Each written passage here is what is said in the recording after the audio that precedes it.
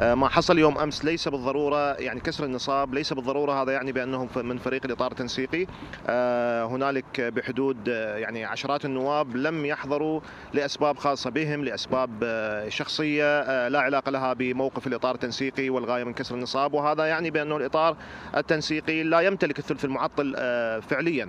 لكن الظروف وربما شابت الجلسة ومقدمات الجلسة تهديدات أو حالات ترغيب حالت دون تحقق النصاب، بالتالي أعتقد بأنه تحالف إنقاذ وطن ملزم بضمان نصاب الثلثين وتهيئة هذا هذا العدد قبل انعقاد الجلسة أو قبل موعدها من أجل أن يمرر رئيس الجمهورية.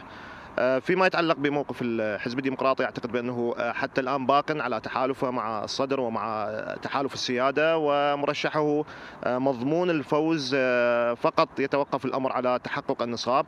اذا أعتقد بأنه إذا لم يحصل تحرك أو تنازل فيما يتعلق ببعض التفاهمات السياسية لا أعتقد بأنه ستنجز الخطوة الثانية من تشكيل الحكومة وهي انتخاب رئيس الجمهورية.